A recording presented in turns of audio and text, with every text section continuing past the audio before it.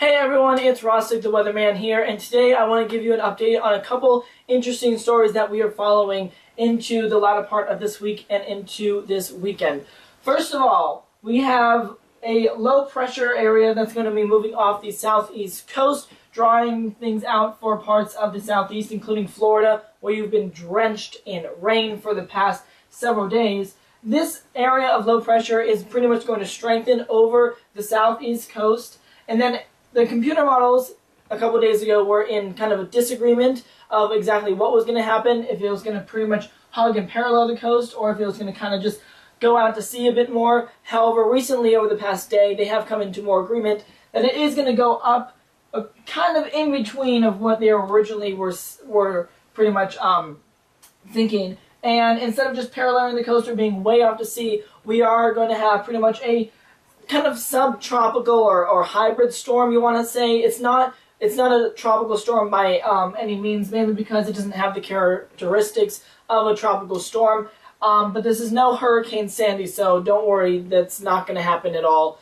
You know, you can forget about that. Pretty much, it's going to be a typical coastal storm, moves up the eastern seaboard from places all the way from the Carolinas into New England. You're going to feel some effects if you live on the coast. You're going to have some rip currents, rough seas, high waves, some beach erosion, maybe some coastal flooding, depends on how strong and close the low actually gets to the um, the coastline and everything. And then you also are going to have windy conditions as well on the beaches. Uh, but pretty much it's going to be feeling effects just generally along the coastlines.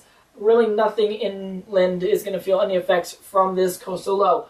Um, it's not going to be named because it's not a tropical storm, so we don't have to worry about that. But this is going to happen toward the latter part of the weekend, Sunday going into Monday. So if you do live out on the coast or if you are going to um, beach go pretty much for the whole entire weekend, just be mindful that you are going to have some rough seas the latter part of Sunday and going into Monday. But other than that, the Northeast, Mid-Atlantic, beautiful weekend, highs in the mid-70s, perfect fall weather. So that's our first interesting story to talk about. The other story is, wait for it, snow.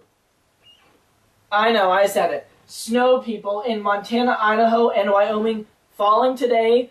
Elevations above 6 and 7,000 feet, up to a foot of snow possible. Now, it's actually not uncommon to see snow at this time of year in these higher elevations. This is when we typically start to see the first snowflakes fall into the Rockies, especially above 5,000 feet. And places, you know, in Montana and Idaho and Wyoming places are well above 5,000 feet. So if you are traveling in the bypasses pretty much on Interstate 90 and 15, there are some places above 5,000 feet. You are going to run into some tricky, slippery spots, so be mindful of that. But again, very cold pocket of air moving across into the plains this weekend. We also are going to have a moist flow coming up from the Gulf of Mexico, which is going to spark some showers and th some thunderstorms. Isolated severe weather is possible, but no really tornadoes to really talk about. Um, there's only maybe a 10 to 20% chance of any tornadoes happening. Minneapolis today, 80 degrees. That's about 15 degrees above your average. Chicago, 84 degrees. That's also about 15 degrees above your average. Once the storm system pretty much pushes through the end of the week and going into the weekend, it is going to bring a damper on weekend plans if you have them outside. So if you do, you may have a backup plan to bring things inside. If you don't, oh well, I'm sorry to hear say say that, but I unfortunately don't have any better news for the plains and Midwest.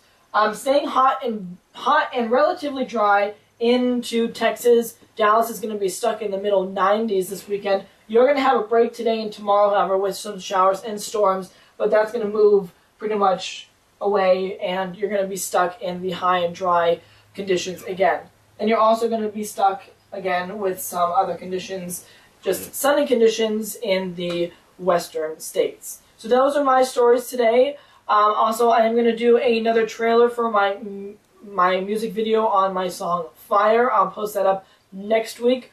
Also, next week, I'm going to bring up our October outlook for the country. And then, mark your calendars because on October 9th, the winter 2013-2014 forecast officially comes out, and I will definitely be doing a video on that, letting you know what we can expect this winter across the country.